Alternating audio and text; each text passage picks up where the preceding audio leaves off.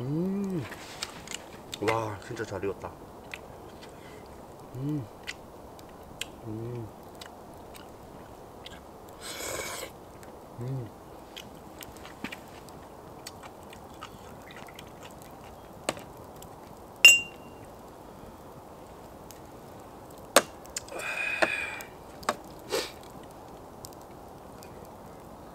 음. 와, 딱 잘 익었네.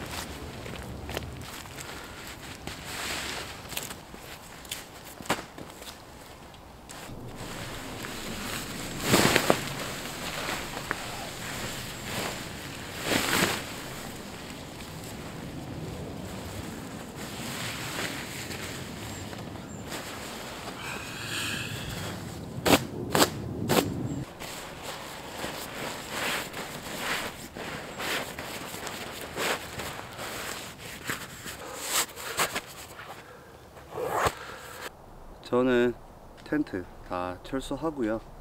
이제 돌아가 보려고 합니다. 멘트를 더 많이 하려다가 오늘 이 숲속 느낌에는 뭔가 제 멘트보다는 어, 이 분위기를 전달해 드리고 싶어서 멘트를 최대한 좀 자제했고요. 이 숲속의 분위기가 어, 여러분께 잘 전달되었기를 바랍니다. 저는 오늘도 어, 이 숲속 분위기 있는 캠핑장에서 1박 잘 쉬다 갑니다. 이번 영상도 여러분 시청해 주셔서 감사드리고 저는 다음 영상으로 찾아뵐 수 있도록 하겠습니다. 시청해 주셔서 감사합니다.